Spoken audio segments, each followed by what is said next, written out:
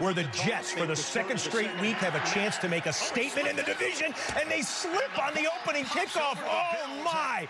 And go, and watch where Ahmad Gardner, right there, just essentially stopped his beat. And once he did that, Diggs had a two-way go. Do I go inside? Do I go outside? Maybe throwing it. Bill's debut for Nyheim Hines. They fake it to him. Allen intercepted. He's picked off along the sideline. Jordan Whitehead